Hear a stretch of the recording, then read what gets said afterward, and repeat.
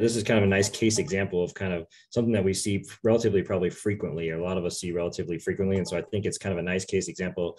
Um, you know, that's something that's not going to be maybe a crazy double osteotomy or anything like that, but it is relatively straightforward, but it has lots of nice talking points to say, okay, well, how would you manage each of these individual things? And so there's a 22 year old female who's had multiple years of bilateral anterior knee pain and swelling. We see that a lot, right?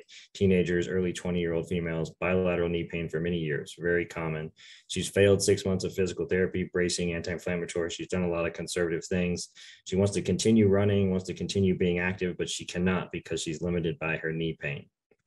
And so her physical exam, she has a joint effusion. She has lateral patellar tracking. If you look at the axial MRI there, you can see she's got lateral patellar tracking. Very common thing that we see, right, in some of these females that have kind of years of anterior knee, knee pain. She's got stable ligament exam, no joint line pain, no meniscal type of signs.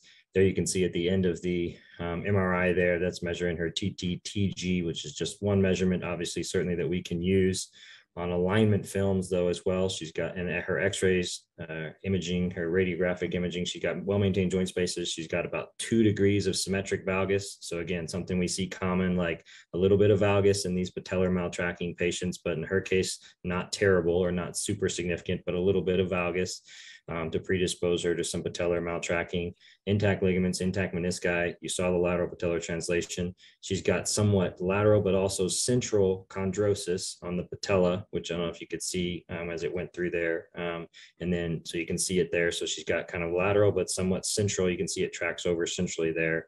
And then she's got elevated parameters and elevated TTTG and elevated TT uh, PCL. And so this is her chondrosis on the diagnostic arthroscopy, again, relatively lateral to central grade three with the kind of central area of grade four in that area and central lateral portion of the patella.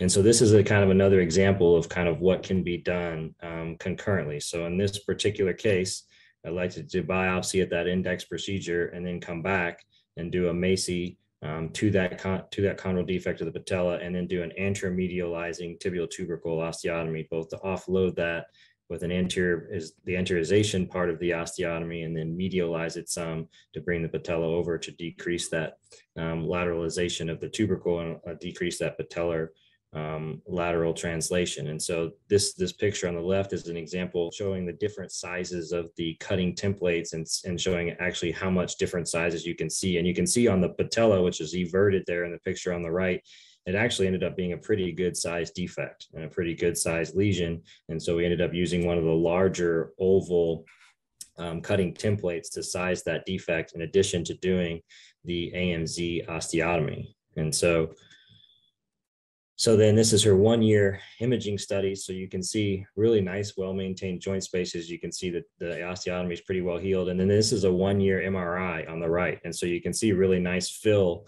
of that lateral to central patellar defect um, and, and, and a really nice outcome. And so she's back to running now and, and um, is happy with this one. And then, and then actually has very similar pathology on the other knee. And she wants the exact same procedure um, done on the other knee. MACI, autologous cultured chondrocytes on porcine collagen membrane, is an autologous cellularized scaffold product that is indicated for the repair of single or multiple symptomatic full thickness cartilage defects of the adult knee with or without bone involvement. MACI is intended for autologous use and must only be administered to the patient for whom it was manufactured. The implantation of MACI is to be performed via an arthrotomy to the knee joint under sterile conditions. The amount of MACI administered is dependent upon the size, surface in centimetres squared, of the cartilage defect. The implantation membrane is trimmed by the treating surgeon to the size and shape of the defect to ensure the damaged area is completely covered and implanted cell side down. Limitations of use.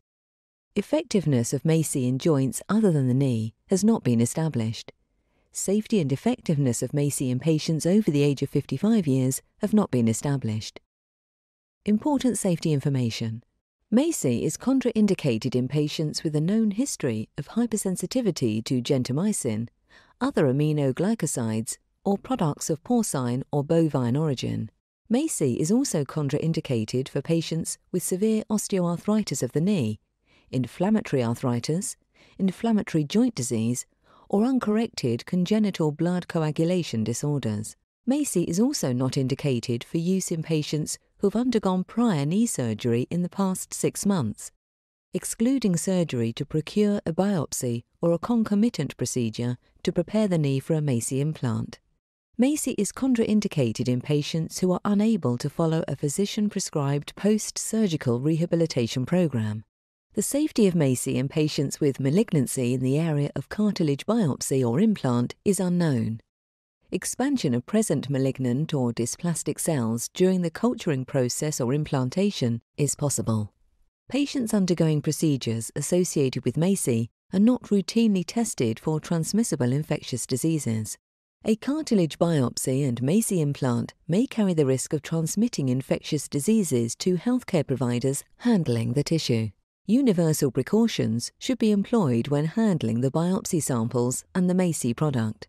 Final sterility test results are not available at the time of shipping. In the case of positive sterility results, healthcare provider or providers will be contacted. To create a favourable environment for healing, concomitant pathologies that include meniscal pathology, cruciate ligament instability, and joint misalignment must be addressed prior to or concurrent with the implantation of MACI. Local treatment guidelines regarding the use of thromboprophylaxis and antibiotic prophylaxis around orthopedic surgery should be followed.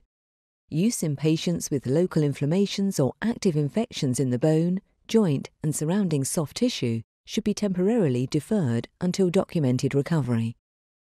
The MACI implant is not recommended during pregnancy. For implantations post pregnancy, the safety of breastfeeding to infant has not been determined. Use of MACI in paediatric patients younger than 18 years of age or patients over 65 years of age has not been established. The most frequently occurring adverse reactions reported for MACI greater than 5% were arthralgia, tendinitis, back pain, joint swelling, and joint effusion. Serious adverse reactions reported for MACI were arthralgia, cartilage injury, meniscus injury, treatment failure, and osteoarthritis. For more information or to view full prescribing information, please go to maci.com.